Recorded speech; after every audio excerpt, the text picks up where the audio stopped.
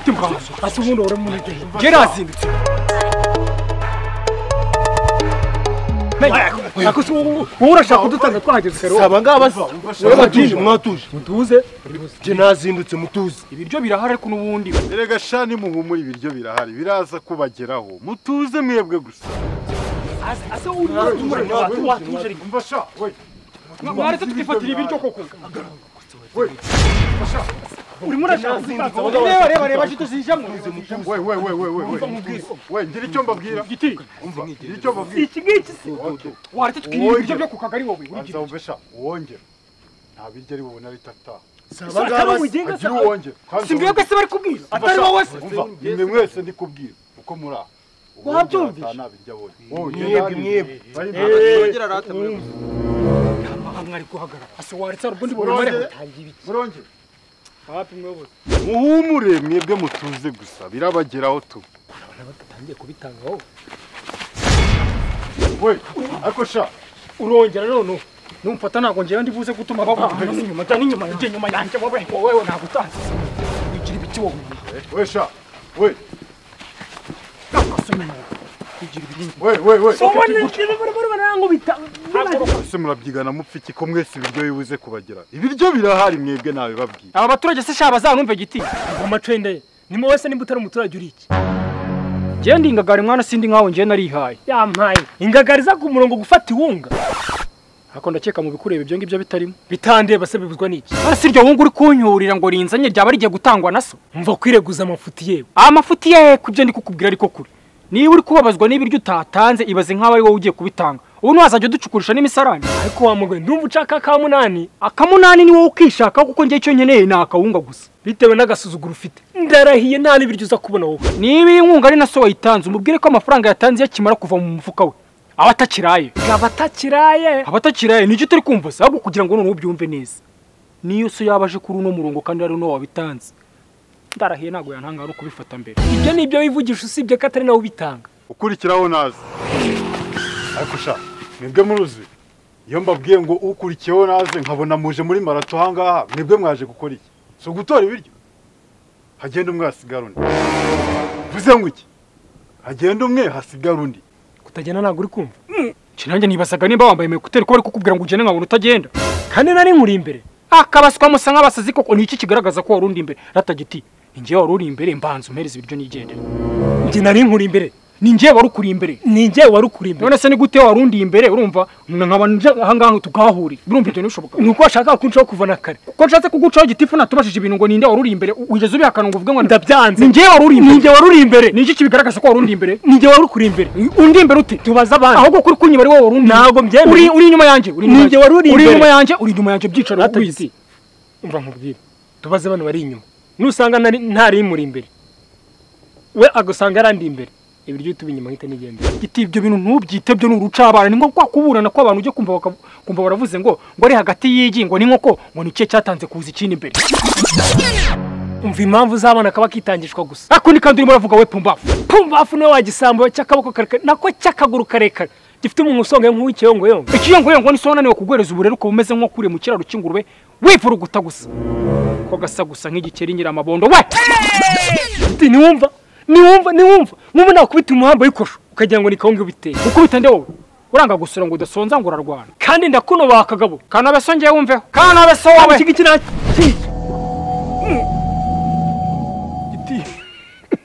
wabonye ko mu kagari kawe uyoboramo barambona komando gira uta amasarigoma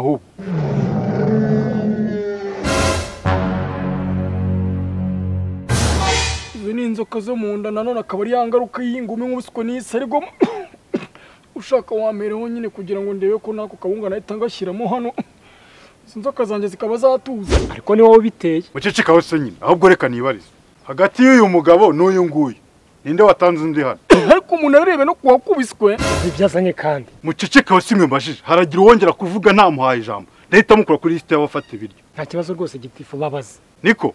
Muri bano bagabo ninde? Wakubiswe kandi arengana. Ubasha hita utaha wowe nta n'ibiryo uri bubone. Ko nyakubahwa ko ni akarengane urenganye gute? Sinera kubujije kuzana ubugambo ahangaha hita utaha. Nyakubahwa njye ntabwo nashaka kuvuga utarimpaye. None ibyo ukoze ni ibiki? None si ivi nk'ubu siko nturibonye none nimba nkibonye. Wagahise umeraho ugatuma igipolisi nkareba uko nateka nkajya kwivuza. Taha sha ureka imitwe yawe nta biryo ndi bugure natahe abantu ni imitwe bayizanisha sha. Niko sha hano wowe hatanga amategeko. Mugabare muyobozi. Kwanza mise nisubira ntabwo gitashye kuko n'uyu mugabo nsanze atari shyashya ratagiti wowe ushyira mu gaciro urekinjajwe toye umugabo iri ahangaha cyo nanga ni umunwa wawe. Ngaho mperaho rero umubyeyi. Umva bwa bujiji bwawe. Ndabiguha ariko ndabiguha nyuma y'abandi bose. Ahubwo niwongera kongeraho utundi tugambo. Ndahita nkukura kuri lisite y'abatwara ibiryo. Wowe genda hariya inyuma mpere kuri uyu nguyu. Agiti rwose ibintu byo kunjyana inyuma ngiye nazindutse ntabwo aba ari sawa. Hejuru y'icyo gicucu reba nk'ukuntu kiba cya- cyahamagaje nta muntu ugitumiye toka. Tuza sha tuza tuza nkwihere ibiryo wigendere. Atamuyobo urakoze. Ariko uhita utaha nabonye mufite amahane. Muyobo urakabyara abana cumi na babiri. Nuko nuko. Undi naza.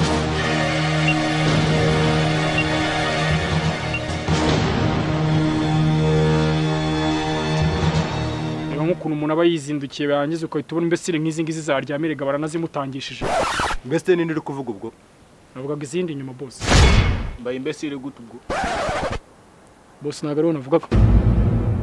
Ino ni layini amaswabiri ndi kureba ndi kurota ndi guhunyiza cyangwa ndi kuvugishwa ubwo ni kimwe muri ibyo? Mwarabu uvuga ikinyarwanda. Impossible! Muri aho muri aho bishobora no kuba ari n'imbobo umuntu yanamudiha akamukoramo ibiceri.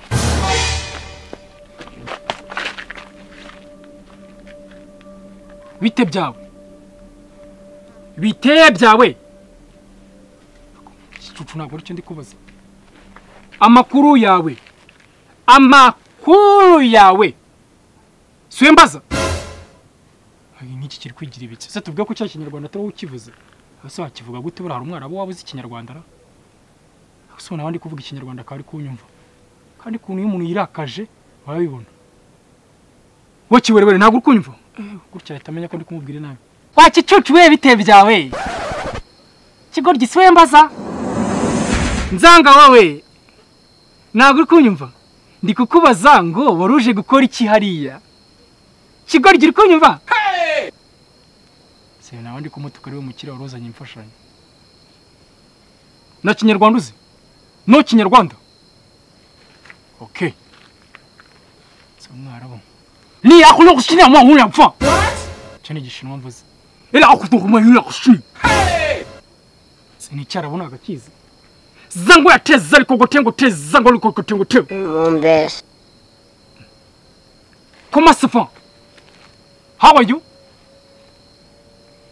Ichi iki kiwerewere muna abwira ibintu byose nta kintu na kimwe cyumva hai. Kano ubu nanagikubita iki ngiki nkanagihoma agasubwe nticyabimenya ko njya kugikubita nagukubita wakicucu nkaguhoma kugasa gusa n'isura nka nk'umwaka w'igitondo. wowe kwihesha urukezo we wa- wambwira icyatumye uzana ahangaha nkwe si y'umwarabu. Niko sha.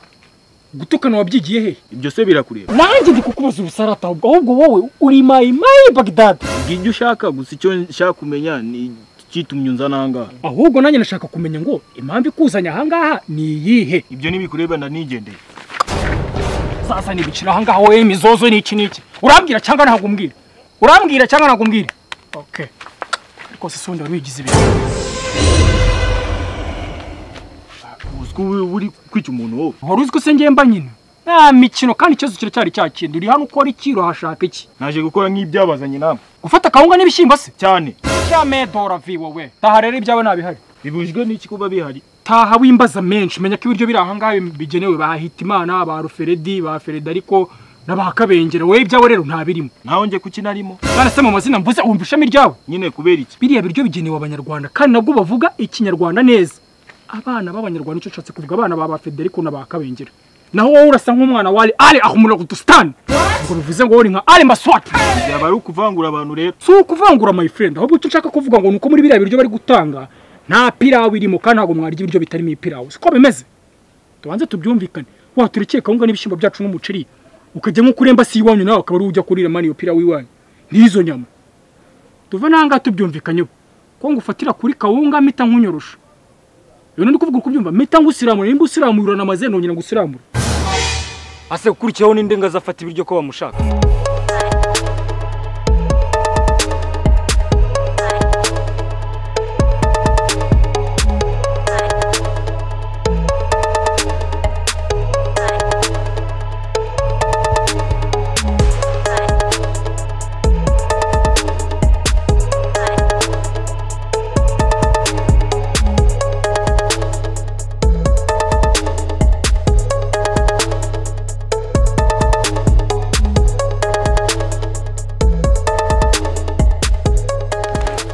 Giti noneho ibi byose bisigaye ni ibyanjye se reka reka nakubwiye ko ndi buguhe nyuma y'abandi wowe. Ntacyo n'ubundi dore nyuma harageze n'ijya ugiye kubifata ariko hari haruguru mpahuriye n'ikintu bita karabo. Ibintu ngakore yewe we. Kanyibwirishijwe ibintu ngo kaje gufata akawungo none nanjye ko mfite umunwa wananiye. Mpita nkora icyo bita kugakuriragaho kuri ka kabuno kako k'inzobe ibintu ngakore nyine ubu ngubu nsize kumiwe. Ngo iki uwo mwarabusa ari he zose ngaka ari inyuma ahantu ugahagaze ariko noneho mana yanjye buriya ngo ugategereje yuko ngo mu kanya ngo uri buze kugaha ibiryo. Nakabwa ati igiti focu nawe iryo yakihera n'ubundi ngewe bisigaye byose nawe ugiye kubinyihera ceceka wowe. Umva sha? We ngwino hano.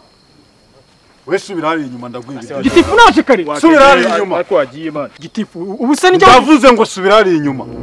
Kandi wari wa kandi ari jyawo wari subira inyuma hariya. Ndahera kuri uyu nguyu. Ata igitipu nyihera ibiryo hano reka nanakiriye ako se giti uri kunziza iki kuko uri kunziza iki reba ukuntu uri gufata ibiryo ukabihereza abantu batabigenewe. Bande babigenewe uri kuvuga. Reba ibyo biryo ni iby'abanyarwanda ariko ureba urimo urabihereza abara ahubwo se abo ngabo nibo bashonje. Yumva neza nkusobanurire sha ibi biryo ntabwo bigenewe umunyarwanda gusa. Ibi biryo bigenewe umuntu wese utuye mu rwanda kandi tubitanga tutitaye ku rurimi avuga imyenda yambara igihugu aturukamo cyangwa se n'umuryango afite. Ahubwo twita ku muntu wese wagize ingaruka za covid. Bo utongera kuvanga ibiryo bi- birakugenewe cyangwa bigenewe uriya buri muntu wese muri rusange utuye u rwanda utishoboye agenewe bino biryo. Urabyumvisha none se mwe ureba uwo muntu ureba ukuntu ako gapasi gateka nu- n'umukunjo ku kibuno. Ureba uwo mucongo wa bitatu ubwo se urwereye uvuga ko atishoboye. Nanjye reka nkwibarize uri guhera ku cyo uvuga ko yishoboye? Ubu se reba icya mbere sibyo reba ukuntu yambaye urebe n'ukuntu ngeye nambaye. Uranabihuye? Icya kabiri iwabo si inaha nabyemere ko iwabo atari inaha icya gatatu ari cyo nyamukuru no nta mwarabu ujya ubura ibirombe bya peteroli urumva? Nta barabu bajya babura ibirombe bya peteroli ntabwo bibaho sibyo? Yagiye akajya kurya izo peteroli zabo akareka kurya imitsi yacu. Yewe. Wowe ndumva ufite ikibazo gikomeye. Ndakugeraho nyuma agenda wowe witwa nde? Nitwa medi iry'ikinyarwanda ni iri ako gitifu nta ntukajya ubaza ubusa. Ubwo urumva ari munyarwanda wabyara umwana usa gutyo reba ino nzu urabona adasa nk'igicupa cya movite reba kano kanyerezo ninde munyarwanda wakabyara koko? Kandi wowe nakubwiye ngo niwongera kuzana utwo tugambo. Ndagukubita. Subira hariya inyuma. Twikomereze hato wowe witwa gute? Nakubwiye igitifu nitwa ahmed. Aho ushatse kuvuga ko batwa aho babangamiye se mede cyangwa n'aho batonganiye mede mwagiye mureka kwigira nyoni nyinshi koko. He ko tubazi upe uremeye uje kwisuzuguza hejuru ya kawunga mwana. Ko mufite mani ibigega bya za esanse na peteroli watuje mwana ukajya kurya ibyayi. Kawunga yacu nije kwandavurira ndavuze ngo subira inyuma yo ku mangazini cyangwa umite nkusiba kuri lisiti oh harya ngo witwa nitwa ahmed. Uribana mbana na madamu n'abana batatu. Eh bivuga ngo ni umuryango munini. Bo uko bimeze rero hano tuba twabagenewe ye ibishyimbo ibiro bitandatu.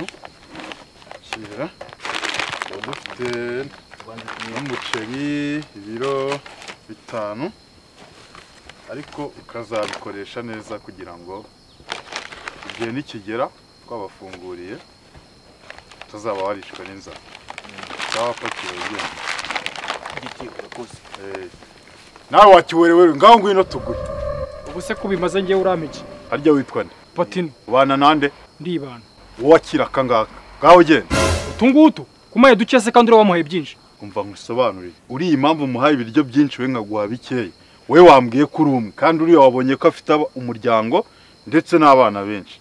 Rero ntabwo warya ibiryo bingana n'umuntu ufite umuryango munini kandi wibana uri umwe. Niyo mpamvu njye ntabaha ibintu bingana. Turi kumwe. Uyu ni murumuna wanjye rero muhereza nawe ibiryo byo kurya.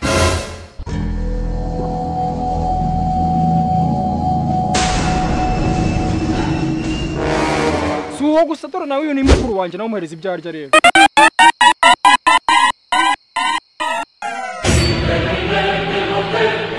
ngaho ugenda ariko niyo byagenda gute nta bindi biryo naguha ibyo ngibyo bigomba kuba hasi. No kugaruka mu kanya genda none se giti. Ubundi ko duhaye ibiryo nta n'ukuntu waduhereza gaze yo kuzajya tubitekesha ubu byoroshye. Muri action driving language school ushobora kwiga online aho waba uri hose. Nicyo gihe iga icyongereza igifaransa igiswahili n'igishinwa ndetse n'izindi ndimi wakwifuza. Wanakwiga provisoire online ukayibona mu minsi icumi gusa. By'umwihariko rero abanyeshuri bari mu biruhuko. Mwipfusha ubusa umwanya wanyu. Gana action driving and language school. Ubone ubumenyi buhambaye mu gihe gitoya. Ku bindi bisobanuro hadusanga mu mujyi wa kigali mu nyubako ya shike muri flo ya mbere mu muryango mirongo ine na gatanu se cyangwa se mukaduhamagara kuri zeru karindwi umunani karindwi kabiri kane gatandatu kabiri gatandatu umunani cyangwa se zeru karindwi kabiri kane gatatu gatatu gatanu karindwi umunani kabiri.